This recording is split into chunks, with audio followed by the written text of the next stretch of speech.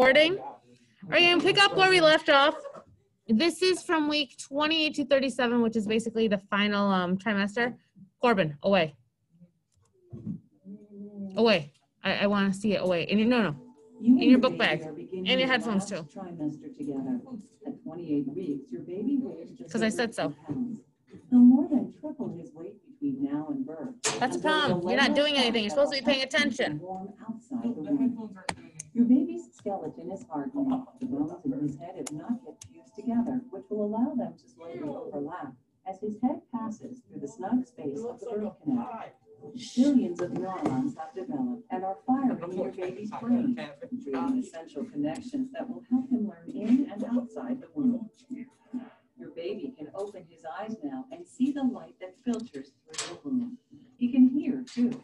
So go ahead and talk or sing to your baby. As your due date nears, your baby will shed small bits of vernix caseosa, the white cheesy substance that covers his entire body and protects his skin from the amniotic fluid he's floating in. Your baby swallows some of these bits, along with other secretions, pass through his digestive system Hey. to become his first bowel movement. You all did At it, so stop 37 gagging. weeks, Your baby's skin is pink and soft. He's looking less like a little alien and more like a baby. Gaining nearly one ounce a day and weighs about six pounds. He's now considered full term. In preparation for birth, most babies will turn so their head is facing downward. Your baby will stay that way, head resting in your pelvic area, as he gets ready to greet the world. All right. Upon request, we'll do the um, eh, girl or boy. Actually, this one's pretty cool. It's freaky as heck, though. Wow. It's animation, so don't worry. You guys can handle it. You can always.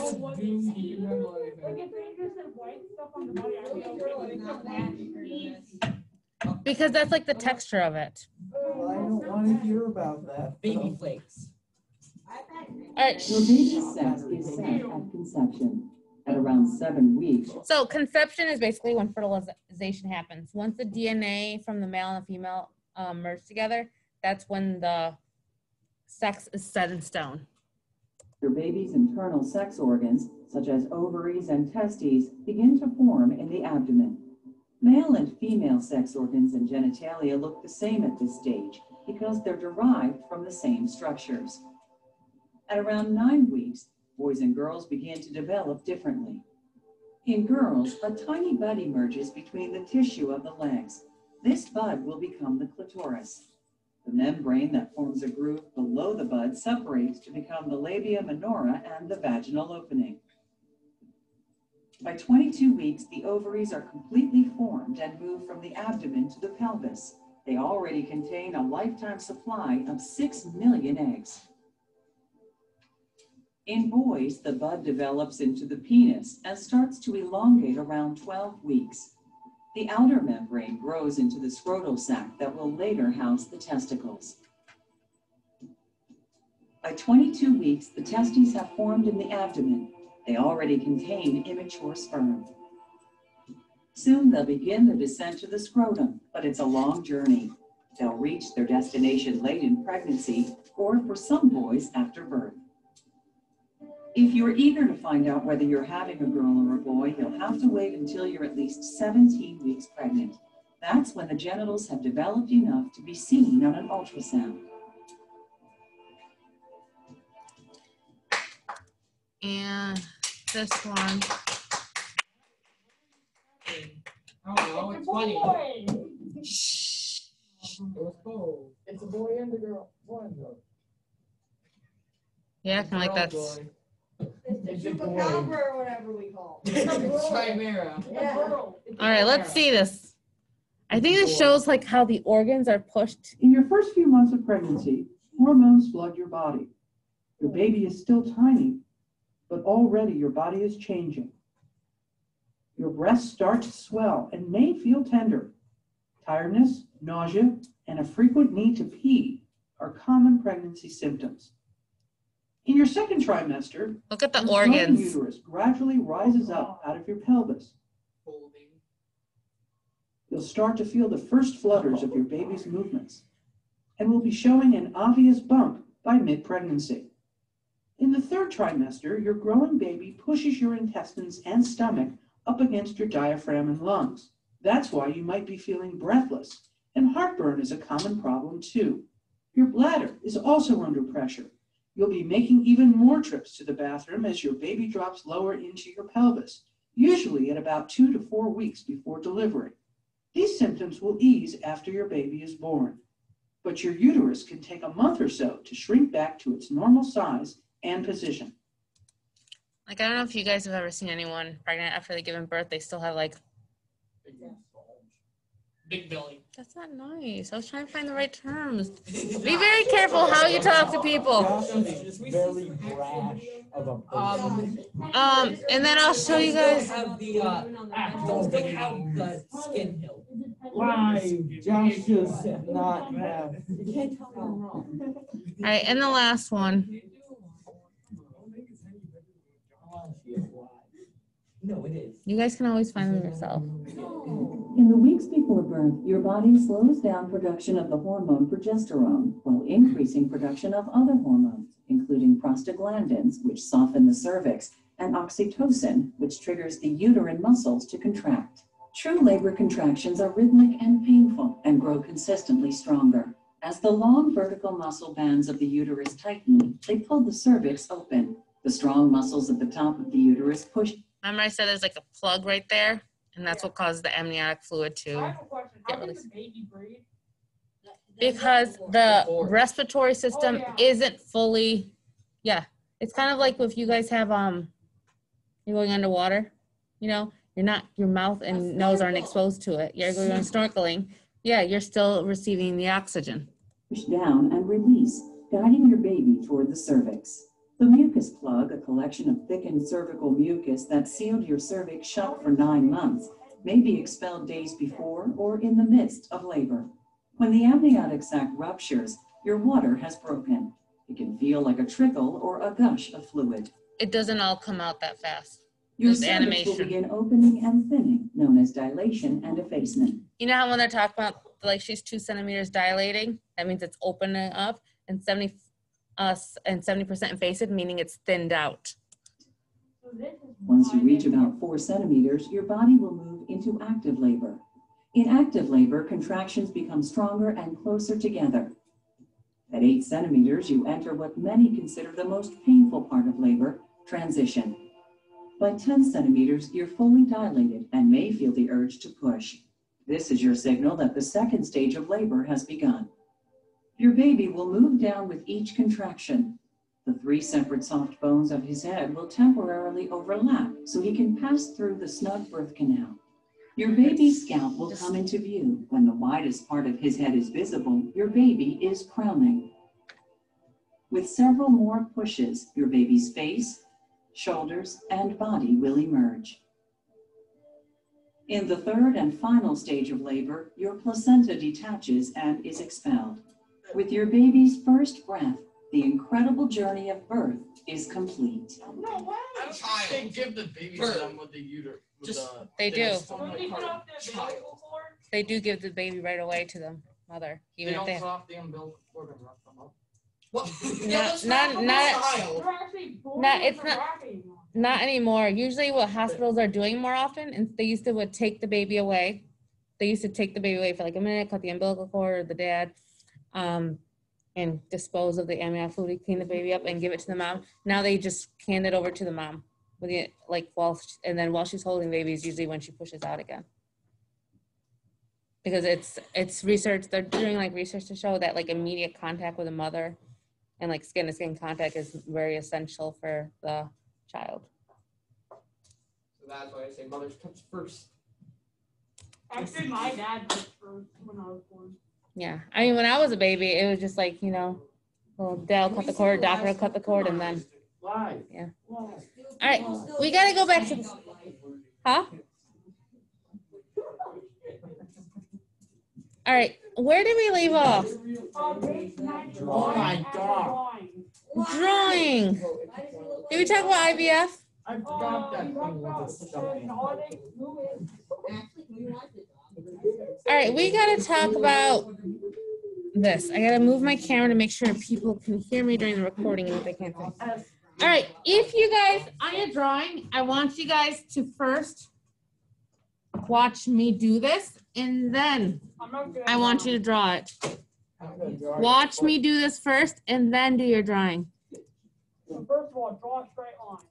Second of all, draw another straight line. Then if I, Third of all, draw another. If I tried to draw a penguin, it'd look like a- All right, let me focus. That's very complicated. Third one, draw a horizontal. Not even a good No, stretch, just just like, Everybody be quiet for one second. Okay. You gotta study this, put it into your brain. Or, say that again. This is the choice between life or death. You said one. Dude, is that second, right? Pac-Man? No. Waka waka. Is that Man Pac? no, it's Pac-Man. That's Man Pac. Waka waka No. mother trucker. What's the motherfucker? No, it's Pac-Man. Hey, guys, It's your mother that. hush, stop, stop, stop.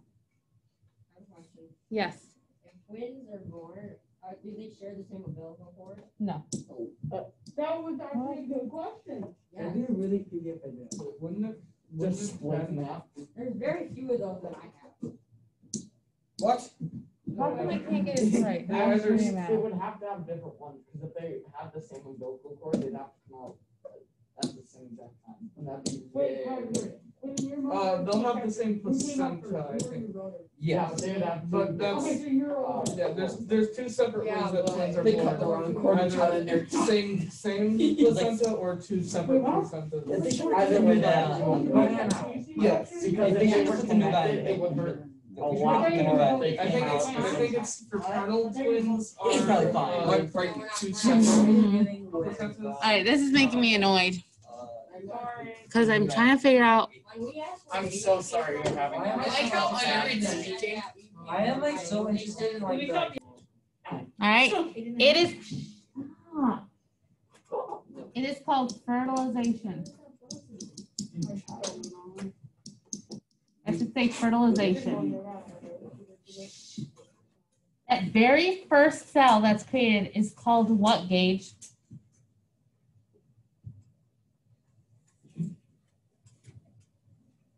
I'm liking on this. Uh, Austin?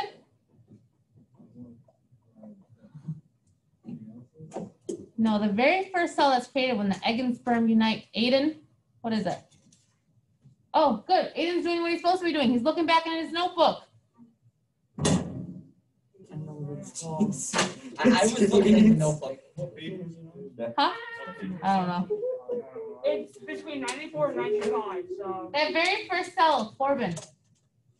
What is that very first cell called? Um, I just had it. It's. Tyler, what's it called? Oh. Oh my god, I'm literally Oh, I looking know, at the I know. answer. Listen, I know you know because your hands up. I think You don't I- need to tell me. Josh, Is it zygote? Zygote. Yeah, let's go. It's The great. very first cell I found that. Don't write anything else. Come Come on. is oh called a zygote. Oh it is only one cell. After that one cell turns into two cells, after that one cell turns into two cells, what is it called now? Tristan, Embryo. it is now called an embryo. I'm gonna change that to, it should say two or more cells. By what process did it go from one cell to two cells, or two to four, or four to six? By what process did it it turn into that? Andrew? Meiosis. Meiosis. Okay, meiosis. Um, nope, I, I said yes. You're wrong, I'm sorry. Oh, no, I know. Mitosis. I- That's the one I meant to say. I promise. believe you. It is called mitosis. This cell is called an embryo, and it still continues to grow by mitosis. That should say mitosis, and it's still, That's An like embryo. Mr. Plant's writing. And then it keeps growing. And it keeps growing. I really have a lot better handwriting this, and it keeps growing, and it's all these cells. Eventually, Honestly. these cells need to change. These cells need to flatten up and become part of your muscle cells. These cells need to um, change into round cells and how on the inside to become your red blood cells. These cells need to change shape to become your brain cells. Some of the cells will turn into your sex cells, whether they're sperm or egg cells. What is that process called, Gage? Differentiation. Good. That is called Difference. Differentiation. Another name for that is what? Another name for differentiation is what, Landon? Change. Nope. Oh, I know. Austin? No. Andrew? Specialize, specialization. It is also known as specialization. going to say God, send it. Specialization. I could not And English it's for a still- second. Grows by mitosis. Is that a flat face at the end? Eventually, it starts to look like. Don't make fun of my drawing. It starts to begin to look like a human. And what is it called? Fetus. Fetus. Fetus by fetus. Oh, man. What is the process called? sorry, what? What is the process called of making sex cells? Landon? Meiosis. Meiosis. Meiosis. Now, hey guys, now you can go ahead. Wait, hold on. Do not, wait, listen to me. Now you can go ahead and draw it, but do not ask me how. What's that letter? Because if you know it says fertilization and you are paying attention to me, you can look back in your notebook where the words are fertilization. If you don't know that said, this says two or more cells. If you don't ask me what this is, this is mitosis. It's mitosis here. It's mitosis here. It's mitosis here. Your notebook shows you how to write mitosis. If you are listening to me, you should know that this says specialization, differentiation. If you can't read my handwriting, it's in your notebook. So go ahead and take a few minutes to write this drawing very clear because you will have questions on this. I'm gonna go ahead and clear this and I'm gonna go on to the next thing.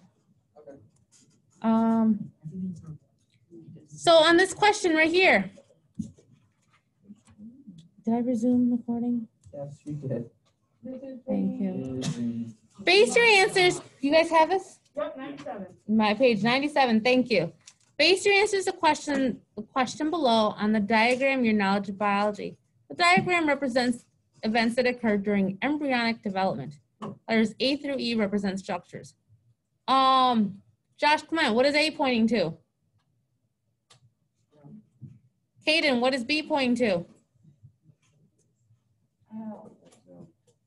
Yep. Uh, Tristan, what is C pointing to? Zygote. Aiden, what is D? Gage, what's E?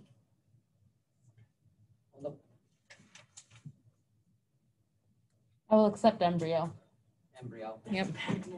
A, between which two letters does mitosis occur? Between A and B, between B and C, between A and C, between C and D. Huh? Between which two letters does mitosis occur? Gage?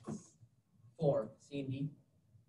I meant to say Aiden, I'm sorry. Oh. Yeah, I like your hand went up. Yours didn't. I'm sorry, but yes. That's how you. The le- the answer is four between C and D. Where? You, you B.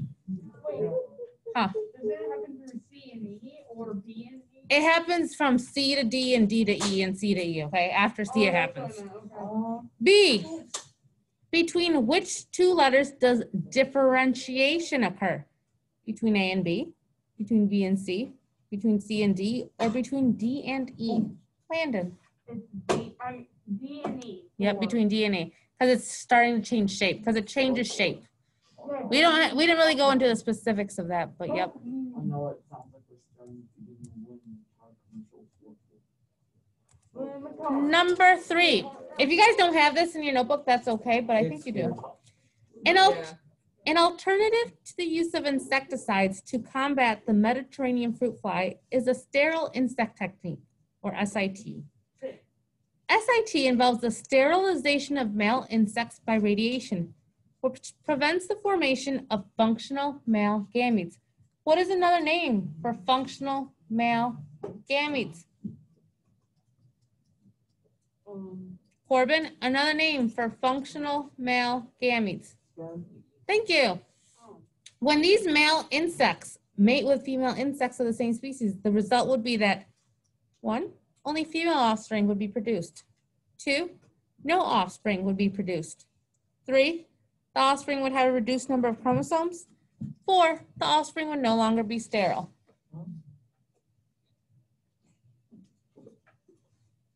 Tristan. Yeah, if they don't have oh, functional man gametes, male gametes, that means that their sperm cells don't work. And if their sp- sperm cells don't work, they could mate, but they're not going to get any offspring. So the answer is two. So they just wasted themselves. Four, a zygote develops into a multicellular organism through mitosis and specialization, mitosis and meiosis, recombination and communication, genetic engineering and natural selection. Tyler, any answer for number four?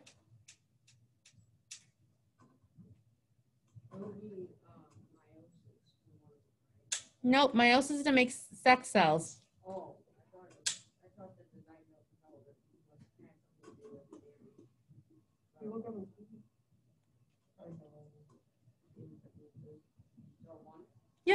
Mitosis and specialization. Specialization is also known as differentiation. Five, which statement describes one function of the placenta in mammals? A, it allows blood of the mother to mix with the blood of the fetus. B, it contains fluid that protects the embryo from harm. C, it removes waste products that are produced in the cells of the fetus. D, it synthesizes food for the embryo. What choice is wrong and why? Tyler? Why? Thank you. It doesn't mix. What other choice is wrong and why? Landon? Huh? C is actually correct. So, yeah, the point of the placenta is to remove waste products such as carbon dioxide. It also provides um, the fetus with uh, things it does need, such as nutrients and oxygen. Um, a baby does not eat a burger.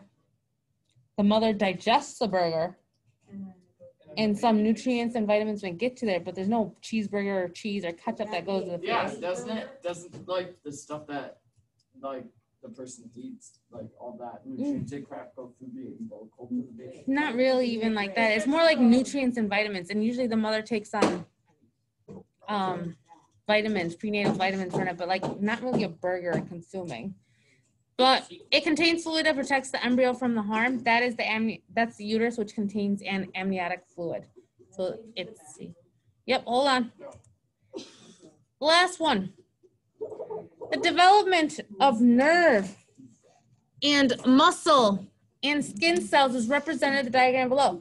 So you start off with a sperm cell and it's fertilizing the egg cell. Then you get one cell.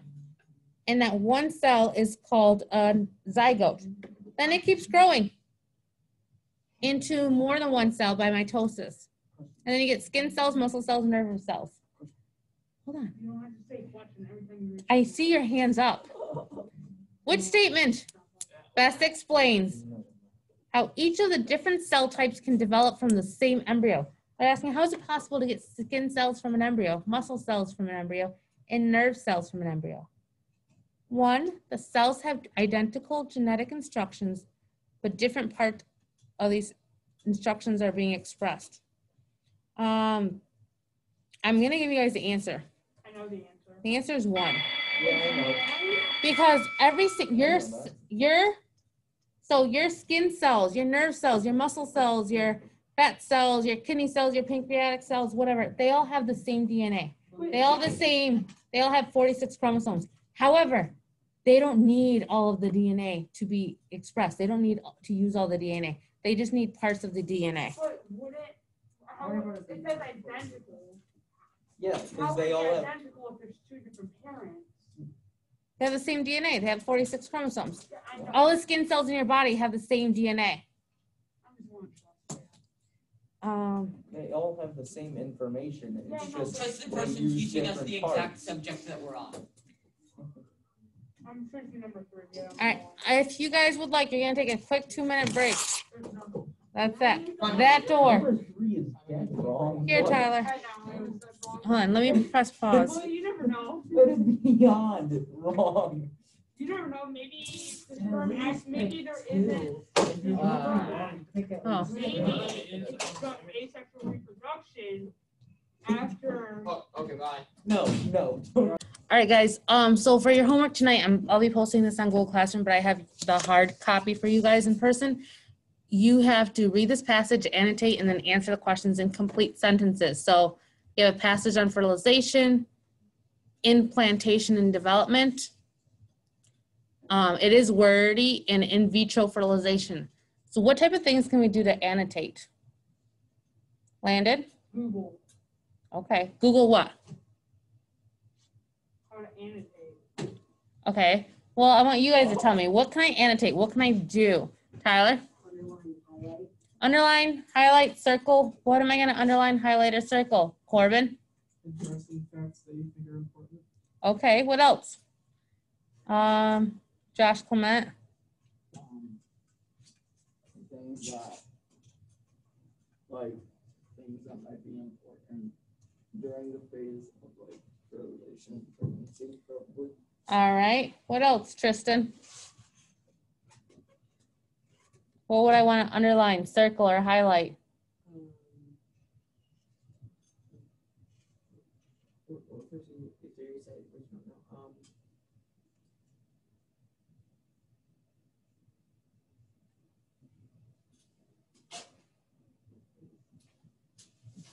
Tyler? Words you don't know what they mean or keywords. Or Thank you. Any vocabulary words that we have gone over, or any new vocabulary words that I've never gone over, or something that doesn't make sense, or any questions. There's some space. There's space right here in between the paragraphs and on the side for you guys to take. For the remote students, um, you answer your questions thoroughly in here, but you guys have lines. Some questions, ha- I gave you guys two lines. Some questions, I gave you guys three lines. If you have that many lines, use them. All right, I'm gonna stop share It's right over there. and